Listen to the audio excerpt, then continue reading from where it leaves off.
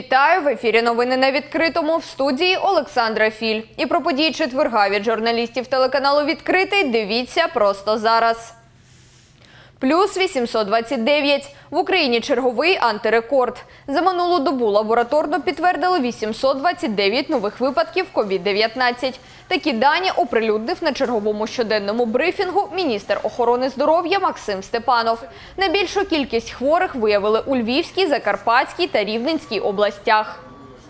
Якщо ми проаналізуємо цифри, які ми бачимо останній тиждень, і порівняємо це навіть з місячною давністю, то кількість захворювань за добу в нас зросла в два рази. Це все результат того, що ми, українці, повністю скасували карантинне обмеження. Я вважаю, що нам треба вже задуматися і просто вдуматися в ці цифри, які ми оголошуємо кожного дня. І щодо кількості захворювань, і щодо кількості летальних випадків, яке також зростає кожного дня. Сучасне обладнання для порятунку хворих. Лікарня Мечникова отримала нові апарати штучної вентиляції легенів експерт-класу. Закупили ШВЛ обласним коштом. Вартість майже 3 мільйони гривень. Родзинка устаткування – наявність унікального інтелекту. Апарати здатні бачити пацієнта і в режимі реального часу аналізувати кожен його вдох. Устаткування встановлять у реанімаційних відділеннях лікарні імені Мечникова. Медики кажуть, у них проводять 200 операцій пацієнтам з інсультом. 80% таких хворих потребують проведення штучної вентиляції легенів. В этих аппаратах реализованы самые лучшие алгоритмы вентиляции.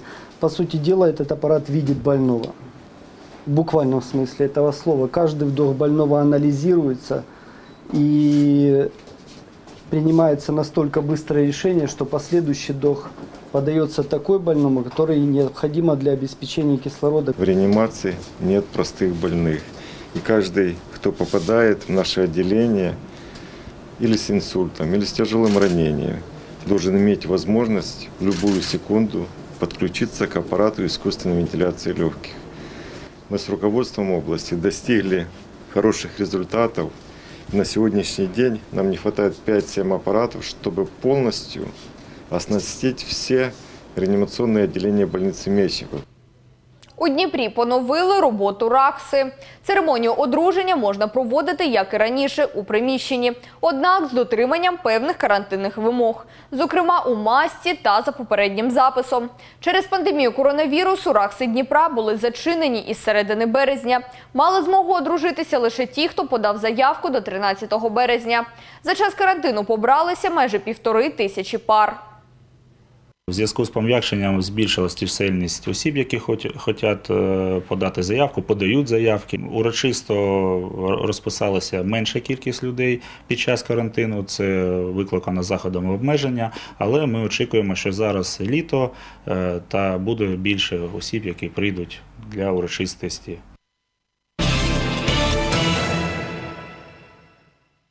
Наркоділків викрили у Вільногірську. Поліцейські встановили збутом наркотиків та прекурсорів займалися двоє місцевих чоловіків 54 та 23 років.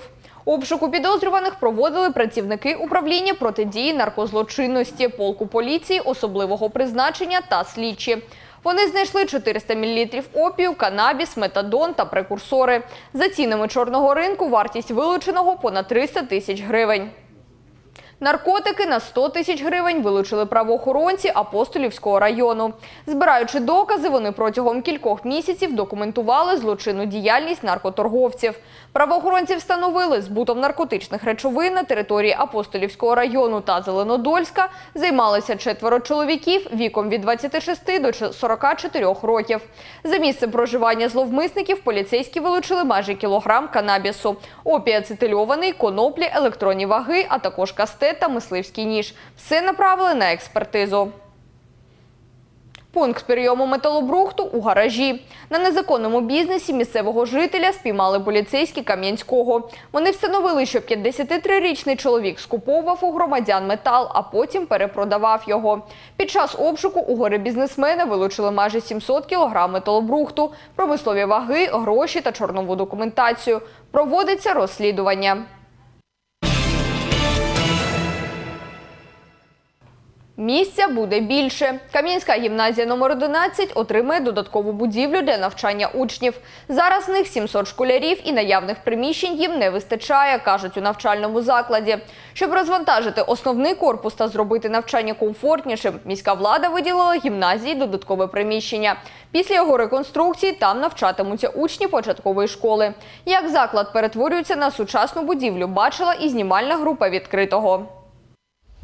У Кам'янському розпочалася реконструкція гімназії номер 11. Зокрема, оновлюють приміщення, яке колись було корпусом міжрегіональної академії управління персоналом. Після реконструкції сюди переведуть класи початкової школи гімназії. Тут передбачено е, шість кабінетів початкової школи, три групи е, дошкільного відділення підготовки до перших класів. Тут передбачена реконструкція їдальні, кабінети англійської мови, логопеда, музична зала, е, спортивна зала. Вони будуть суміщені. Ну і облаштування території, навіси, благоустрій території. Тобто, все це проект передбачає. Наразі в основному корпусі гімназії навчаються до семи сотень учнів. Кажуть, тут їм тісно. Завдяки додатковій будівлі навчальний заклад розширять і розвантажать гімназію. Крім того, проєкт передбачає ще й дошкільне відділення, щоб готувати діток до вступу в перший клас. 11 гімназія це авторитетний навчальний заклад в нашому місті, користується попитом серед батьків і учнів. І, звичайно, основний корпус 11 гімназії працює з великим перевантаженням, тому що в 2016 році рішенням сесії приміщення, яке використовувалось нашим е, МАУПом, передано до 11 гімназії. І тут планувалося відкриття трьох дошкільних груп Тому що гімназія має статус НВК і шести класів початкової школи. В будівлі утеплять фасад, замінять вікна, перекриють дах та відремонтують внутрішні приміщення, закуплять нове обладнання і меблі, приведуть до ладу і навколишню територію. то в течение года нам полностью придется проводить здесь ремонты. И также хочу напомнить, что мы продолжаем над э, работой, над получением средств Европейского инвестиционного банка. К концу года уже будет разрабатываться проектно-сметная документация на утепление, полностью тепловую санацию еще 11 бюджетных учреждений. По ним работы начнутся в следующем году. Сюда входят школы, садики и наши городские больницы. На реконструкцію додаткового корпусу 11-ї гімназії з держбюджету виділили понад 62 мільйони гривень за кредитною програмою для відновлення України. Роботи планують завершити у 2021-му. Вікторія Вахрушина, Костянтин Кесар, Open News, телеканал відкритий. Дніпровський Плюшкін. На житловому масиві перемоги двокімнатна квартира Дніпрянина була заповнена сміттям до самої стелі. Комунальники ледь змогли пробратися скрізь мотлух. Вони знайшли там наповнені невідомо чим пакети, рештки якихось меблів та ганчір'я. Кажуть, у Дніпрі зараз десь сотня таких захаращених квартир. Медики таку хворобливу пристрасть до накопичення різного дрантя вважають психічною недугою. Однак госпіталізувати таких людей примусово до медзакладів неможливо. Вони не становлять небезпеку для суспільства. Тож єдине, що можна зробити за таких обставин, говорять представники міської влади, це один-два рази на рік вивозити сміття із помешкань таких плюшкіних. Квартира полностью до потолка завалена мусором, и обитатель этой квартиры перемещался под потолком, то есть лазил по кучам этим мусором, но я так понимаю, что с трудом уже лазил, поскольку было забито все.